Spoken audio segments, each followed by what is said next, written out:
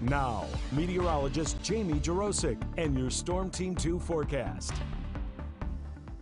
We're checking out your temperatures for forecast highs today. It's going to be very comfortable, not quite as warm as it was yesterday, but upper 60s in Greenville, 68 degrees there, 69 in Troy, Springfield, a little bit cooler up across Wapakoneta, Celina near 65 degrees. Overall, very nice. In the southern half of the Miami Valley, a few more spots hit 70.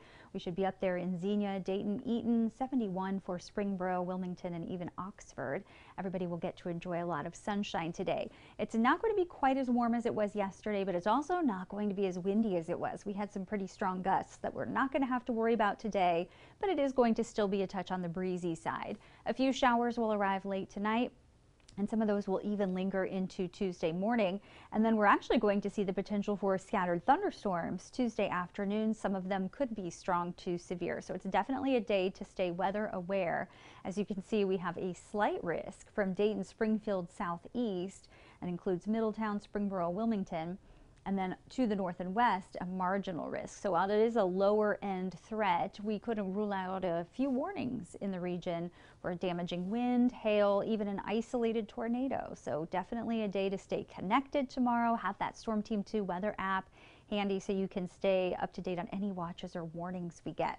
High pressure is keeping things quiet today. A little more cloud cover across the northern Miami Valley, sunshine south. And there's our next system that will continue to work our way. First, a warm front will lift in and then the cold front will follow. Uh, later tomorrow. So things will be changing if you have yard work to do. Today is the day to get that done. Really good conditions. Tomorrow is fair. There will be breaks in the rain where you'll probably get out and get to do a few things, but the rain may slow you down. Wednesday, back to dry weather and then an active day Thursday. So it's kind of every other day this week where we're dealing with those rain chances.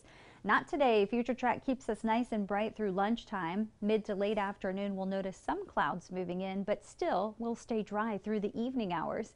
Tonight is when some showers will arrive late, and these will continue through tomorrow morning's commute.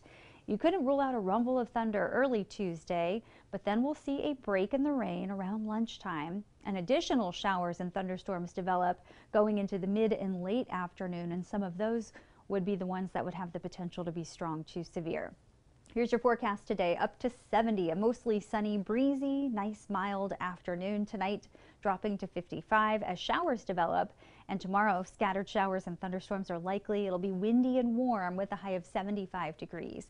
In your Storm Team 2 seven day forecast, a break in the rain, but a little cooler Wednesday, and then more showers Thursday, Friday. Right now, the weekend is looking pretty nice and comfortable.